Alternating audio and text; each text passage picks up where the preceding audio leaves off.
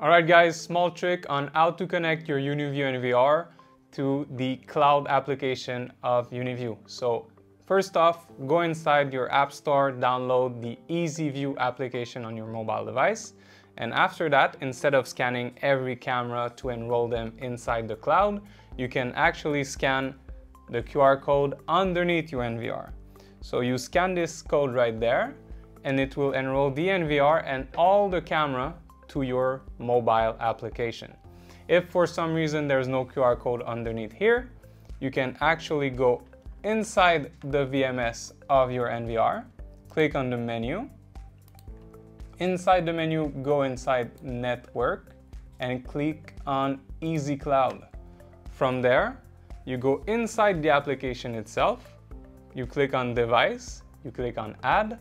From there, you will scan the QR code so you go over the QR code on your screen or underneath your NVR and you do start live view. From there, your NVR will get connected to the cloud and all the cameras will be connected and you will be able to do all the analytics straight from your mobile application. Now that is enrolled, all the cameras will appear inside your device NVR. So you click here you have a first look of your cameras. You select them and you click on Start Live View.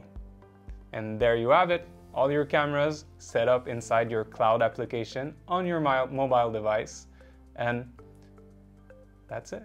Thank you guys for watching this video. We hope this little trick was helpful for you and will be helpful in your future projects. If you want us to review some analytics, some special features on the UniView cameras or their NVR, leave us a comment below on what you would like us to do, or maybe another brand, something more interesting for you and something you're maybe installing in future projects. So if you are a manufacturer, a professional security installer, leave us a comment below on what you would like to see next and we will see you on the next one.